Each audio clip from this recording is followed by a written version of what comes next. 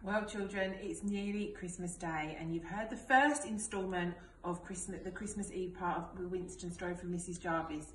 And here I am to read you the final little bit. So let's get started. This is called Home. Christmas Day that year was very loud and exciting, an exciting affair. Winston, his mum, and his siblings nattered all night in the warmth of Winston's dolls' house home. They chattered and laughed and sang and really had the most wonderful time. When Oliver came running down the stairs the next morning, he couldn't believe his eyes. Winston, he cried, you're home! You said you'd come back, you promised, and you did. And you've, you've brought friends. Winston squeaked with delight as he introduced his human family to his mouse family. He very proudly took one of Oliver's fingers and pulled him over to shake paws with each of his brothers and sisters, and finally with his mum. The giddiness and excitement was overwhelming, and Oliver's parents had to take themselves into the kitchen for a hot cup of tea to give their ears a rest. But the excitement and surprises didn't finish there. Despite the shop being closed for the day, the front doorbell didn't stop jangling.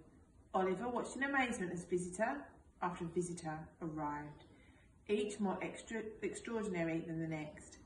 First came the exquisitely fluffy white cat wearing his most enormous diamond collar anyone had ever seen. On her back was a rat, resplendent in velvet, and his hat tilted rakishly on his head.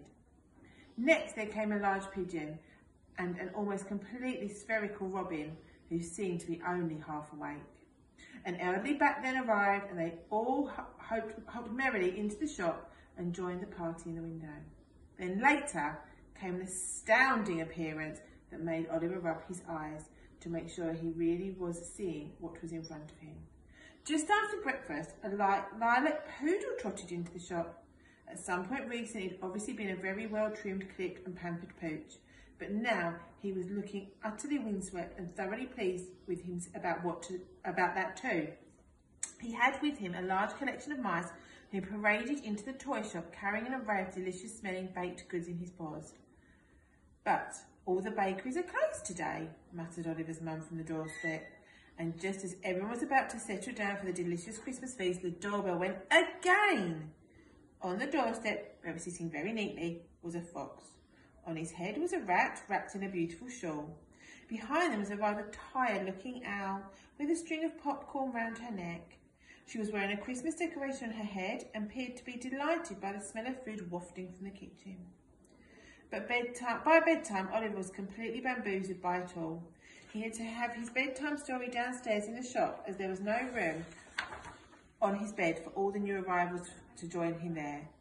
As he took himself back up to his attic bedroom, Oliver's mind was tri tripping giddily over itself with questions. Where had Winston been?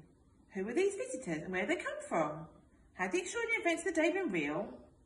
Downstairs, Winston was also marvelling at everything. Here was his family all together under one roof, the ones who looked like him and the ones who didn't, but who were family all the same. He loved each and every one of them, and they loved him. And it was then he realised that the strange aching feeling in his chest, the empty one that felt like the missing jigsaw piece, had vanished, and in its place was something new. It was a happy, full, and warm loving feeling that felt like a hug, the hug his mum had given him outside in the snow. Winston knew then that this new feeling would stay with him always. And if Oliver had peeked out of his window at midnight, he would have seen the tiny reindeer, its fur shimmering like starlight, pay a flying visit to the shop. He would have wondered again if his eyes were playing tricks on him, but they wouldn't have been. The reindeer were really there, dancing and falling and in the falling snow with Winston and his family. Because that's the thing about Christmas. The thing you must always remember.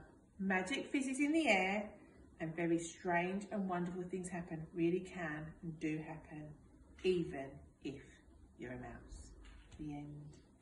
That's it, Clockhouse. Have a fantastic Christmas from us all. Be good. I hope Santa's very kind to you and we look forward to seeing you and hearing all about your Christmases very soon. Merry Christmas, everybody.